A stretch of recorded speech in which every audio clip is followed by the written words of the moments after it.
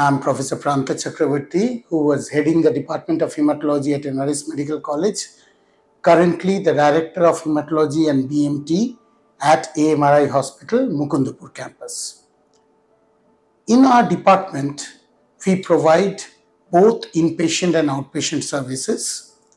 For outpatient services, a bulk of our patients come from different states for consultative hematology, complex disorders, like recently we diagnosed a factor 7 deficiency during the third trimester of pregnancy. We also diagnosed a case which was roaming around as acquired von Willebrand disease. On the malignant front, we treat all sorts of blood cancers. As you are aware, that chronic blood cancers like CML, CLL nowadays do not require chemotherapy for most of the cases. They are on targeted therapy and we have our in-house hematopathology lab where we monitor them for molecular and other biomarkers.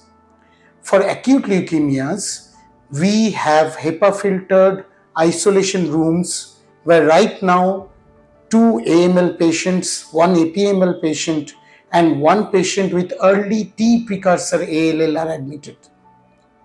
Most of these patients need critical care in isolation to prevent infections and to prevent organ damage.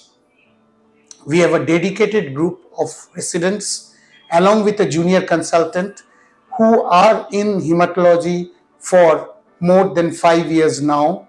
And we also have trained our nurses, our pharmacists, our counselors to look after these patients and counsel them even before we start treatment. Now, why are so many people required for hematology? Because these are diseases which are not only life threatening but they affect the mental health of the patients and their family members. So, unless we are all on the same page, it becomes very difficult for them to understand the nuances of treatment. Like in acute leukemia, we do induction, consolidation, reinduction, maintenance, and also when we have to go in for stem cell transplantation. So, in our stem cell transplant unit, we do both autologous and allogenic transplants, including matched sibling transplants, matched unrelated donor transplants, that is MUD, and haploidentical transplants whenever it is indicated, be it for genetic disorders like thalassemias, sickle cell, aplastic anemia, or malignancies like acute leukemias, lymphomas, myelomas, and other disorders. We would like to tell you that we believe in a single window service and because we have upgraded other transplant units like kidney transplant and liver transplant, we give 24 into 7 coverage for specialist advice and referral with a working cath lab with PET CT scan, MRI, and all types of imaging and laboratory facilities which are essential for managing these critical disorders.